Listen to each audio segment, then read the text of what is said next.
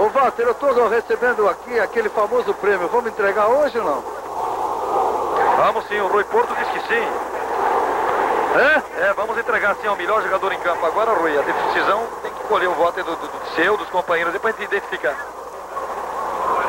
Bom, eu estou com Pelé e Tostão, os dois melhores jogadores. Entre Pelé e Tostão fica o Tostão. Então tem dois votos pro Tostão, um pro Pelé, o Rui Porto não definiu. É, Eu, eu, eu dou voto para o Tostão também.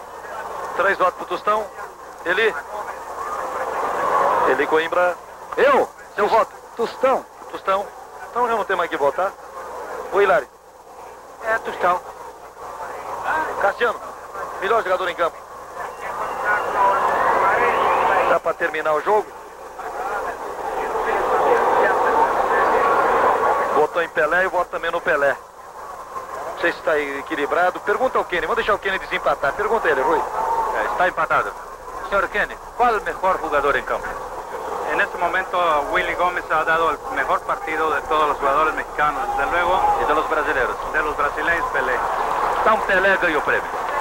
Bom, por decisão, voto de Minerva do engenheiro Roberto Kenny. Eli, a palavra é com você. O prêmio da rede associado ao melhor jogador em campo para o Pelé, mas com aquela diferençazinha pro Tostão, que também foi uma figura extraordinária. Pelé supera Tostão no olho mecânico.